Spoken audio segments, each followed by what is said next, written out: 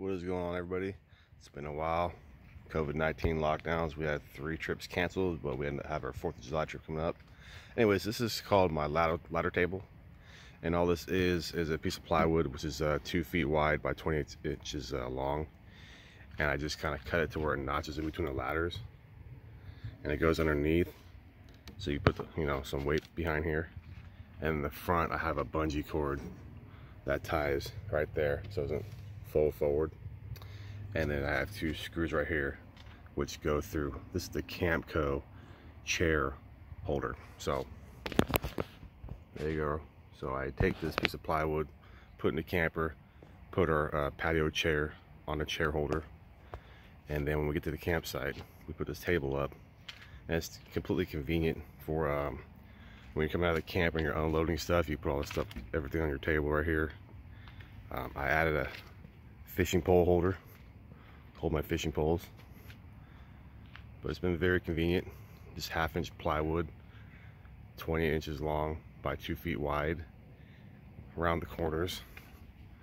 And just uh, primed it and put three coats of semi-gloss exterior paint.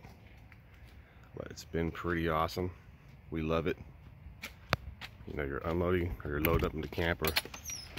It's uh, stand at the doorway and just put all your stuff on there, chairs or food, whatever you're doing, and then walk out of the camper and you pull off the table and bring it wherever you need to bring it to. Um, I'll put my barbecue utensils on here too when I'm barbecuing. Um, but yeah, it's been very convenient. Very simple mod. The Camco chair um, rack was I think like 19 bucks and I had that. And then obviously a piece of plywood is, I'm not even sure how much that cost. But there you go.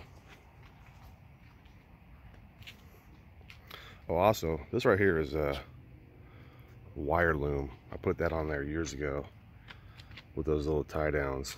And what I do in the summertime when, that's when we're using our generator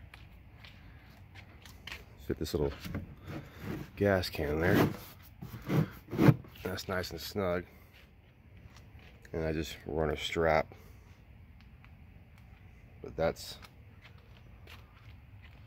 Harbor Freight five gallon gas tank fits perfectly nice and snug in between the um, the ladder poles with that wire loom. And then you strap it down. Anyways, um, I don't think you need to put two screws. One sh which should, should be fine. And it's not really easy drilling through this metal either, but I did too. And that, ladies and gentlemen, is the ladder table. All right, happy camping, y'all.